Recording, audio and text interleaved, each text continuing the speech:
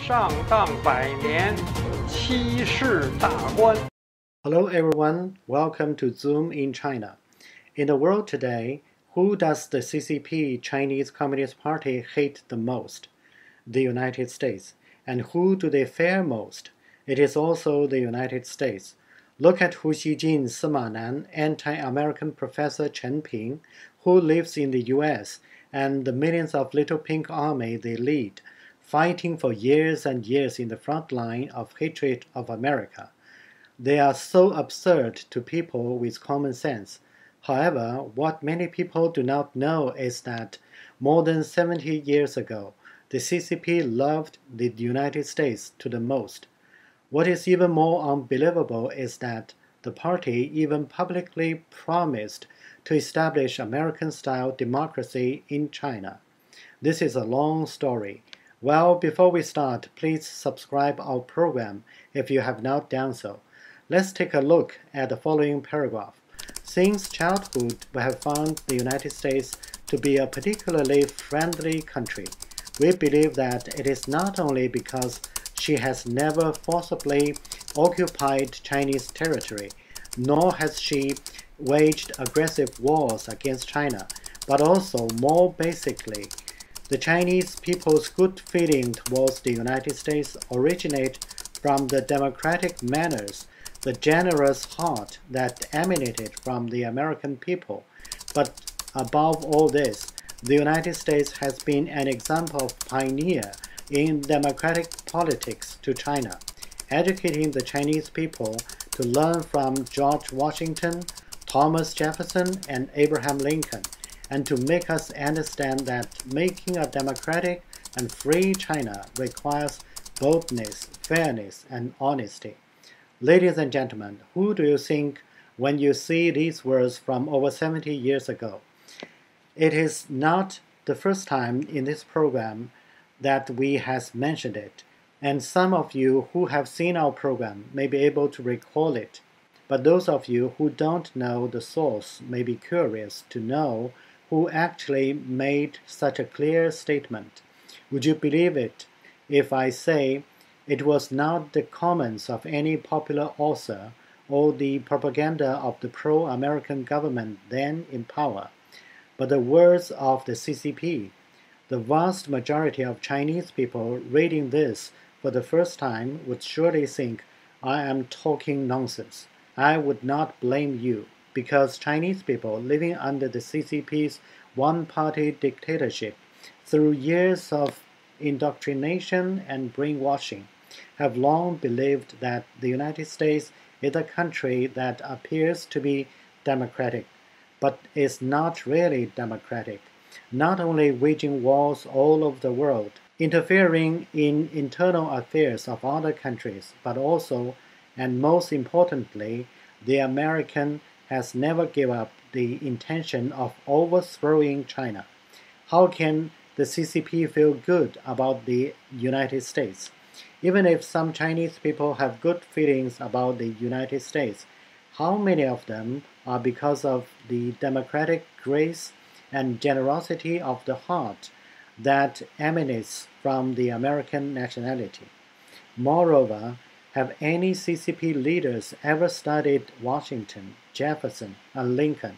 When did the CCP ever learn from the United States about democratic politics?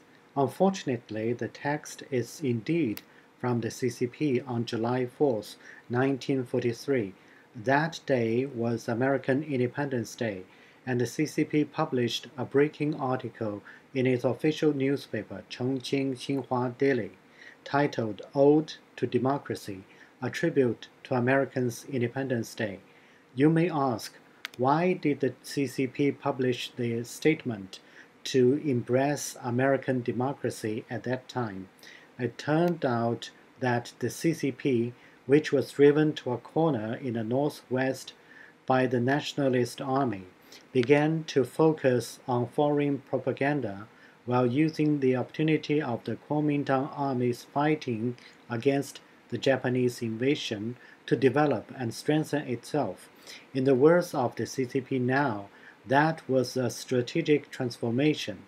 This was also thanks to the inspiration of an American.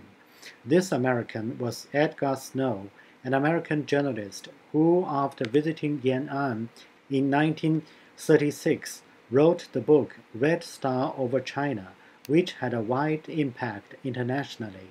The effect of the book on the public opinion enlightened CCP and made them realize the importance of propaganda for overseas. As the little pink now often says, foreigners are stupid and easy to be fooled. When you cry over poverty, they will give you the money.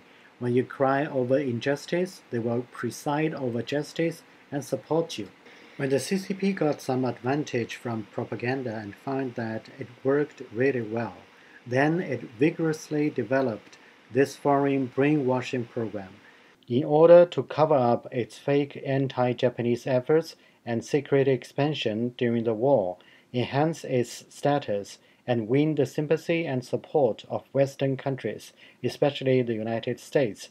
The CCP took every opportunity to invite Westerners, including journalists, to visit Yan'an. The party disguised themselves as an honest party working for people in front of these visitors. This tactic has been used until today to whitewash itself through Western public opinion. Nowadays, of course, it has been upgraded several times, especially many of the so called Western media has long been infiltrated or manipulated by the CCP in reality. In the winter of 1937, under the careful arrangement of Zhou Enlai, Evans Fordyce Carlson, a U.S. Marine Corps intelligence officer and former deputy commander in chief of President Roosevelt's Guard, visited Yan'an and the 8th Route Army General Headquarters in Shanxi. In Yan'an, Mao and Carlson talked late into the night, and upon his return to the U.S., Carlson briefed President Roosevelt on CCP and Mao, which later influenced the drift of U.S. strategy toward China. And the leftist American journalist Agnes Smedley, who was said to have special relations with Mao Zedong, also published several propaganda articles in the West glorifying the Chinese Communist Party, misleading the Western political circles and the public impression of the CCP. In February 1938, Mao Zedong expressed his satisfaction with the public opinion at that time when he talked with Wang Gongda, a reporter for the United Press, and Mao said the sponsorship of international peace by the American Democratic Party the condemnation of fascism by President Roosevelt, the sympathy of the Scripps Howard newspapers for the Chinese resistance to Japan, and especially the solidarity of American people with the Chinese resistance to Japan are all welcomed and appreciated by us. At the critical moment when the Japanese invader was about to be defeated, in order to win greater support from the US and restrain Chiang Kai shek, Mao praised the US more vigorously and took every opportunity to call for help. The CCP also developed the propaganda slogan about democracy and freedom to meet American taste. Mao found that such an ideological slogan not only conforms to Western values and conceals CCP's ambition to eliminate Kuomintang and seize power, but also can manipulate public opinion in China while showing goodwill to the US. On June 12, 1944, Mao gave a speech to Chinese people and foreign journalists in which the key word was democracy, and he talked about democracy and attributed the fundamental way to solve all problems in China to democracy. Mao said China has shortcomings, and they are great shortcomings. And these shortcomings, in a nutshell, is the lack of democracy. The Chinese people need democracy very much because only with democracy will the resistance have strength. China's internal relations and external relations will get on track to win the war, to build a good country. Only with democratic unity can we defeat fascism, to build a new China and a new world. Chinese people might feel that this speech was from anti-CCP activists, who, as the CCP labels, is inciting subversion of communist China, but it was actually from Mao Zedong. At that time, he wanted to overthrow Republic of China. The Xinhua Daily in Chongqing and Jiefang Daily in Yan'an both published numerous editorials and commentaries in praise of the U.S. The Xinhua Daily of September 12, 1943, published an article entitled The Ideal of the American People and the Spirit of Democracy, quoting two lines from Andre Maurois. I love America because here I see the glory of the freedom that makes human life noble. I love America because here I see that what is often the cause of war in other countries can be solved here in an orderly and uh, democratic way. On July 4, 1944, the National Day of the United States, the Xinhua Daily published the editorial enthusiastically glorifying the United States, which we mentioned before.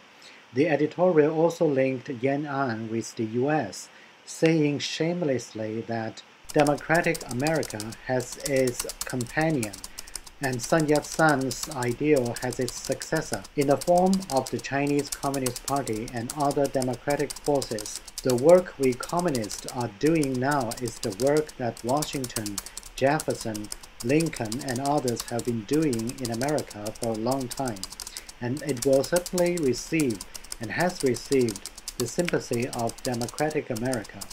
The United States is aiding vigorously the war against Japan and the democratic movement in China, for which we are grateful. This editorial also ends with the chant, Long live the 4th of July, long live democratic America. Ladies and gentlemen, I got goosebumps when reading this, don't you? This is all for the first half of the episode of how the CCP deceived American government. Before you leave, please do not hesitate to subscribe, share, and like our channels. See you next time.